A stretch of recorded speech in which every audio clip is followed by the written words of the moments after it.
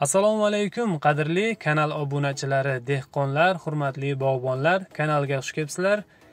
Ushbu tasvirlar ko'rib turganingiz 2021 yil oktyabr oylarida olingan video hisoblanadi. Bu mahsulot bodring. Ha siz to'g'ri eshitdingiz. Bu meksika bodringi ya'ni nomi chiyota deb nomlanadi.